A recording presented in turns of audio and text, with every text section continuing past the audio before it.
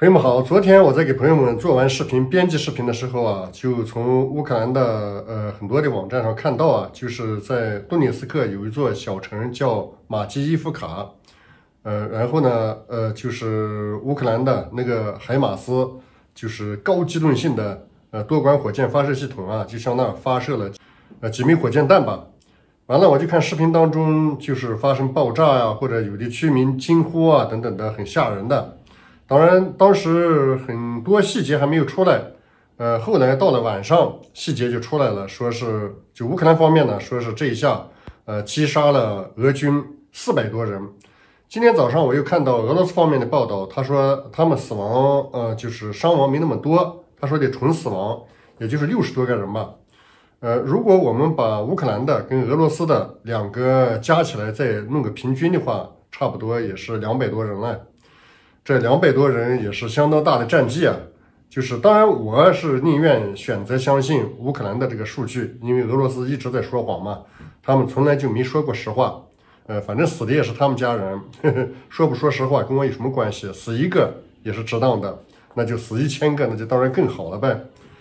呃，这是就是顿涅斯克那个马基伊夫卡被人家海马斯点名的那么那几百个人吧。那接下来我再聊一个小新闻，就是今天我又从乌克兰主流媒体上看到啊，就是他们在卢甘斯克方向，现在可以说已经完全控制了 P 六六号公路，就是 P 六十六号公路高速公路。呃，其实就是这就意味着他们已经完全的包围了克里米纳的克里米纳，呃，这个城市可能就是在最近这段时间指日可下了。呃，敌人好像从里面已经撤差不多了。现在呢，可能还在激战，所以呢，我们继续关注就行了。前面给朋友们聊过很多，就是这周围的一很多很多的居民点，你看到，其实乌克兰的这个势力的那个颜色并没有涂到那儿去，但是呢，俄军不停的往那儿发射炸弹，有些呢还是红色的，呃，就是地图上看还是俄罗斯的控制区，但是俄罗斯自己也往那儿发射各种各样的爆炸物，这就说明那个地方有乌军嘛，有乌军的阵地嘛，只是乌克兰不愿意去宣布。呃，俄罗斯也没有宣布，所以旧地图一直没有改，这就这么个情况。昨天我在国内的这个西瓜头条、抖音上面也发了一个视频，就是那个瓦格纳的呃所谓创始人以及后台老板，当然最大的后台老板是玻尿酸嘛，呃，就是说前台老板吧，前台大堂经理那个普里科金啊，呃，就到呃顿涅斯克，就是乌东去视察去看。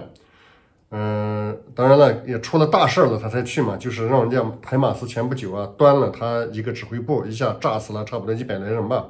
所以呢，他就到那个呃建筑物的废墟里去看了看，就是炮弹落在什么地方，怎么个情况。呃，然后呢，又到堆放尸体的那个地下室又去呃转了转。呃，另外我又看到一段，就是他去阵亡的他那瓦格纳士兵的公墓去祭扫的。可能那段视频在前面那两个视频前面还是后面，我不知道。反正我就剪辑的时候把它剪到最后了，这样的话它顺序上看着比较顺一些。嗯，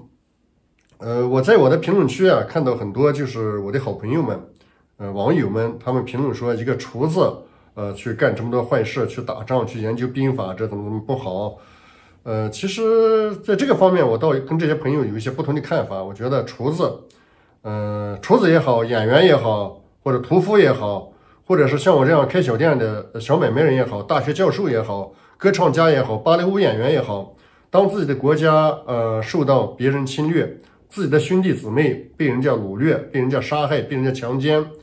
嗯，自己家的房子被人家炸掉、被人家烧掉，自己家的洗衣机啊，各种各样的财产好不容易挣来的，让人家偷盗走。当这些事情发生的时候，不管咱们从事什么职业，都应该挺身而出，保卫它。或者是当我们看到别人受欺负的时候，我们自己是厨子，我们自己是呃屠夫，我们是外卖小哥，呃，我们是画家，我们是艺术家，我们是大学教授，等等等等吧。不管什么职业，只要我们愿意，我们也可以去帮助那些受到伤害的人，去保护他们的家园。就是说是干正义事业的话，不管你呃职业是什么，都是非常值得的。但是呢，你干非正义的事业，就是欺负别人。烧杀掳掠，你不管原来曾经是什么样的职业，你都是非常可耻的。你是厨子也好，你是特务也好，呃，你是一个铜匠也好，你是个工程师也好，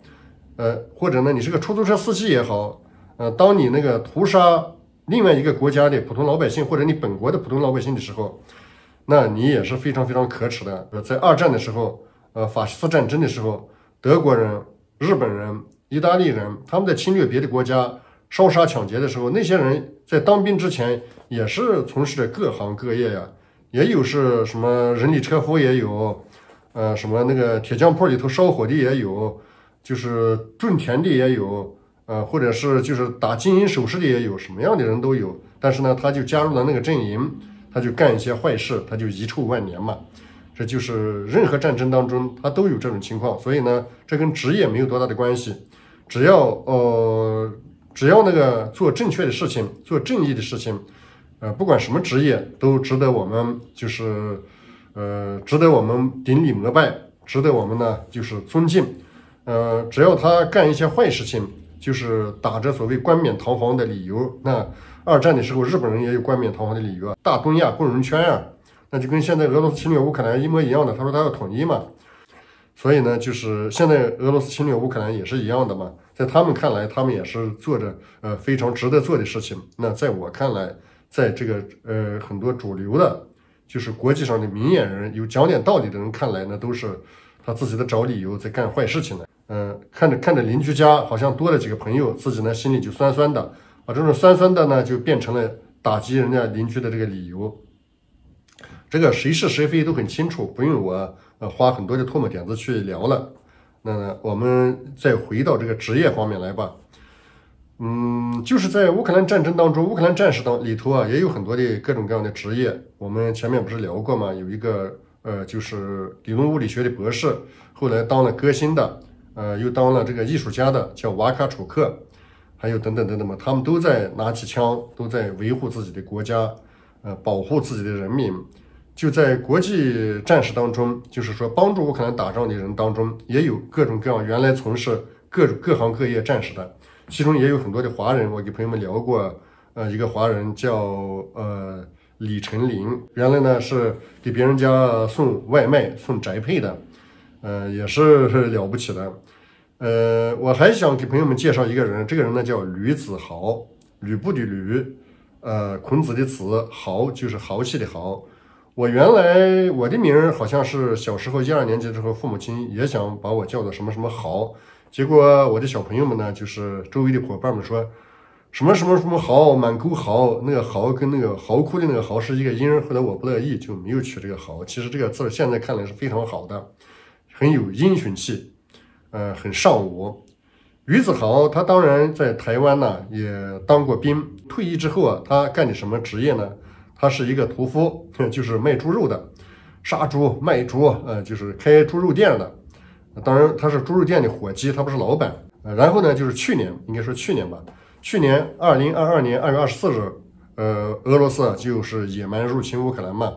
这个吕子豪啊，他呢就是心里就过不去，看不下去，他正义感爆棚嘛，他也没给他的这个同事说，也没给老板说，也给爸，也没给他的父母亲说，自个儿就通过各种渠道用了一个月的这个时间运作，然后就去了乌克兰。他三月二十二号去的乌克兰嘛，那时候打仗也是相当相当激烈的。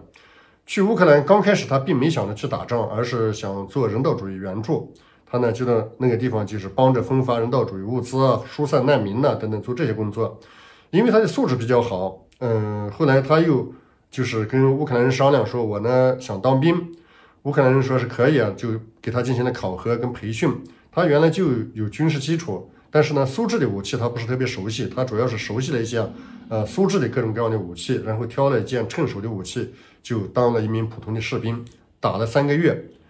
嗯，差不多在六月底的时候，他就回到了台湾，继续从事他的老本行卖猪肉。呃，就是说，刚现在我们再回到尚武精神吧。我在以前的视频里给朋友们聊过，说我也想去乌克兰，嗯，那是一种就是发自内心的，我确实想去。为什么现在去不了了呢？因为各种各样的羁绊，我是下不了那个决心。就是说，呃，我现在确实身体也是确实不行了，我每天起床的时候腰都要用半天的时间才能直起来。我想我可能很快就会瘫痪掉。如果去战场是累赘，这当然也是理由。另外也有个现实的考虑，就是现在乌克兰啊也不缺人了。从各方面看，呃，各个采访看，你看乌克兰大街上有很多的那个男性，就乌克兰籍的男性，他们该上大学上大学，该打工打工，该就是说是呃失业失业，什么样的人都有。我看有一个很年轻的小伙子，他呢，呃，在以前一个人的博主的视频里头，他是从乌东逃过来的嘛，他就在他在在那个居民楼下就那么坐着，坐了三天三夜，别人给他给点吃的喝的，他就是心理上发生了障碍嘛。呃，就是说是有人说是乌克兰不是抓壮丁嘛，见着男人就抓过去，没这回事。人家现在不缺人，很多人呢都是自己愿意求着乌克兰官方，你让我去打仗嘛，就跟。呃，外国的吕子豪啊、李成林他们一样，呃，就是说才去打仗的，就是这里头就包括前面给朋友们说的那些，呃，就是很知名度很高的人，比方说瓦卡楚克呀，还有就是其他的，还有一个议员，我给朋友们也说过嘛，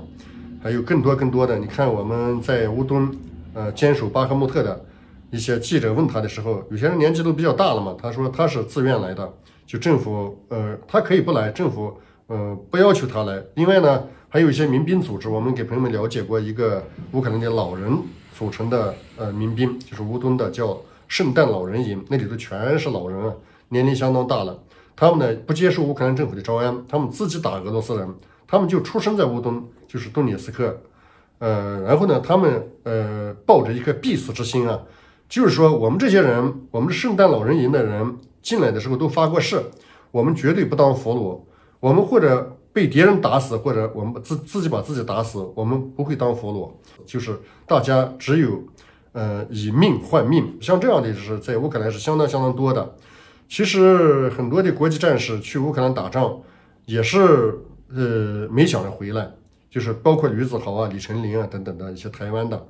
就没想着回来，就就想死在那儿。呃，就是说，因为刀枪无眼嘛，去风险是相当相当高的。包括咱们加拿大的那个战士瓦利，他不是也待了那么两三个月，然后回来了吗？就是说是乌克兰现在，呃，我去意义不是特别的大。我得承认我怂，呃，我不是一条好汉，我没有去乌克兰，就是也有这方面的原因。我呵 呵不是一条汉子，这个有什么好有什么不好意思承认的？就承认了。呃，因为我不是一条汉子，所以我才佩服那天那些就是真正的好汉们，李成林啊。呃，还有那个吕子豪啊，还有把命留在乌克兰的那个曾姓的，就是曾先生，曾爷。好，那今天呢就先聊到这里吧，谢谢朋友们，再见，拜拜。